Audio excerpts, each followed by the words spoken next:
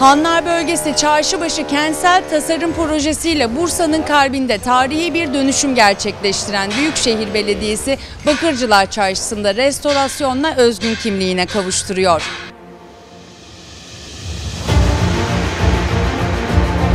Tamamlanan Bakırcılar Meydanı, İpekhan Meydanı, Sarıcı Sungur Mescidi ve peyzaj düzenlemelerini halkın hizmetine açan Büyükşehir Belediyesi, bölgedeki hanlar ve çarşıların restorasyonuna da başladı. Bakırcılar Çarşısı için hazırlanan ve Bursa Kültür Varlıklarını Koruma Bölge Kurulu tarafından onaylanan proje kapsamında tarihi dokuya uymayan beton ilaveler, saçaklar, üst örtüler, klima, tente ve tabelalar kaldırılıp onaylı projeye göre yeniden düzenlenecek.